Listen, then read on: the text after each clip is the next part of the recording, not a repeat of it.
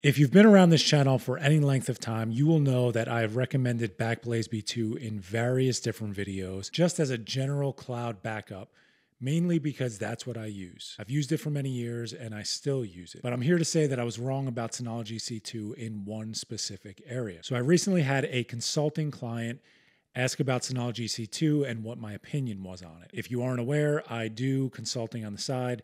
Um, I will leave a link to that in the description if you're interested in hiring me.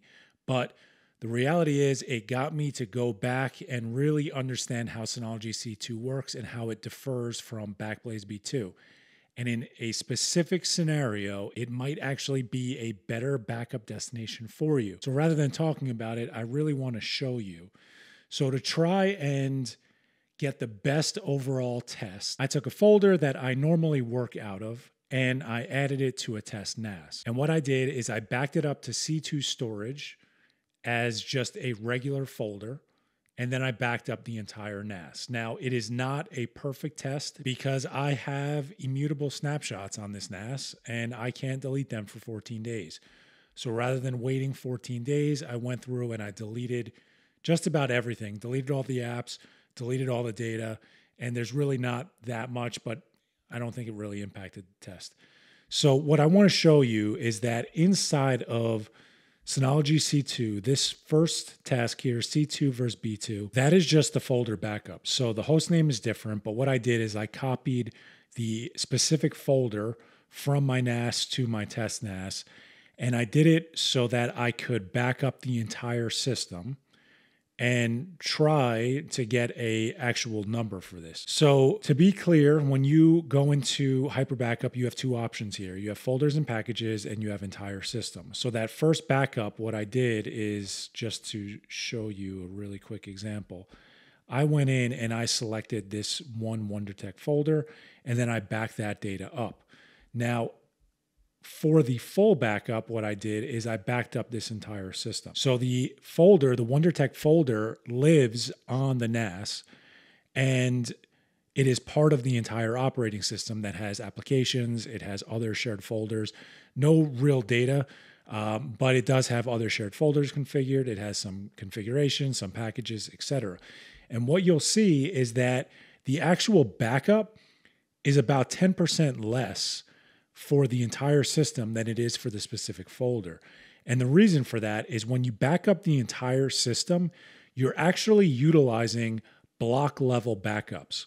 So I don't really want to get too deep into it, but there's file level deduplication and block level deduplication. And if you use this entire system option, you're actually utilizing a block level backup, which can utilize block level deduplication.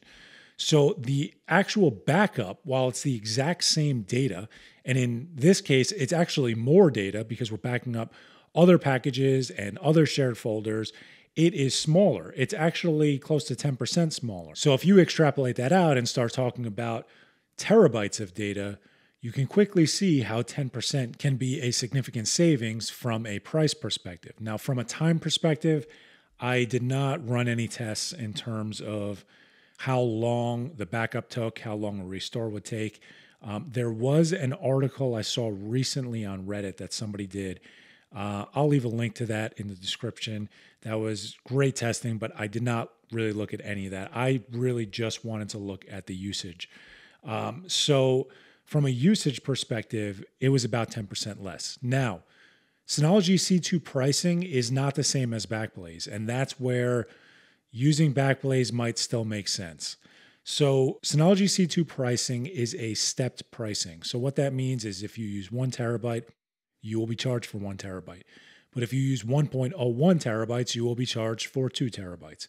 It's stepped. With Backblaze B2, if you use 1.01 terabytes, you will only be charged for 1.01 terabytes. So it's also a little cheaper. I believe it's $6 a terabyte as opposed to $7 a terabyte with C2. But the big thing that you're going to have to determine is if you're doing a full NAS backup. And if you want to do a full NAS backup, your only options are Synology C2 and a remote NAS device. Now, I did some testing between Synology C2 and Backblaze B2 in terms of just backups to see if there was any difference in the actual backup sizes, and the difference was extremely minimal, something that you probably shouldn't even take into consideration. So, for all intents and purposes, Synology C2 versus Backblaze B2 will be generally the same from a backup size perspective if you are using the shared folder option. Now, if you're using the entire system backup, that's where it's going to be different. So, who does this make sense for? Well, I think Synology C2 makes sense for people that want to back up the entire NAS. And when I say the entire NAS, I mean everything. You can't pick and choose exactly what you want to back up. If you plan on picking and choosing what you want to back up, I would personally use Backblaze only because it's going to be cheaper. That's the main point. The actual backup size is the same. The way it works is the same. The setup is a little more difficult. I have a tutorial on that that I could leave in the description. But the setup is a little more difficult, but it will be cheaper in the long run. If you're somebody that wants to back up your entire NAS and you do not want to use a remote NAS backup, you really only have Synology C2 as your option.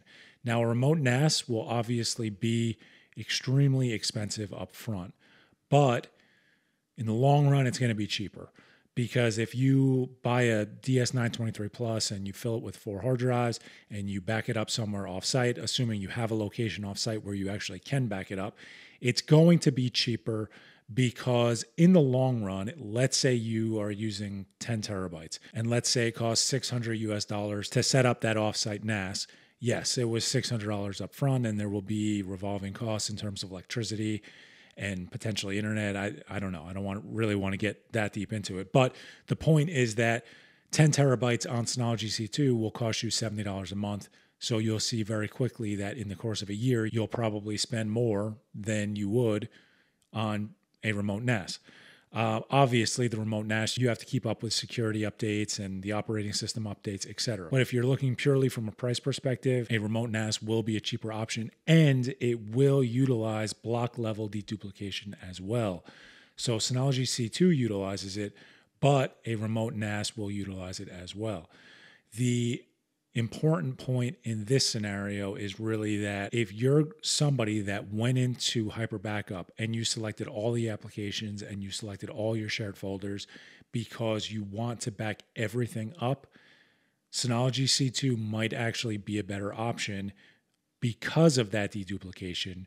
You might save enough actual storage space to offset the costs that you would spend by the increased price of Synology C2 and the actual stepped pricing.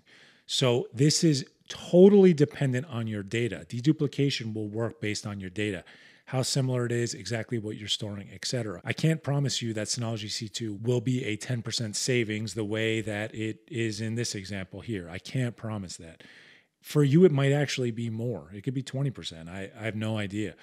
But the point is that if you're somebody that's backing up your entire NAS and you want to utilize block level deduplication, Synology C2 is actually a really good option. I'm very impressed with how it worked. So I'm hopeful that this video helped you guys out. If it did, please consider giving it a thumbs up. And if you like this type of content, please consider subscribing to the channel. Thanks, guys.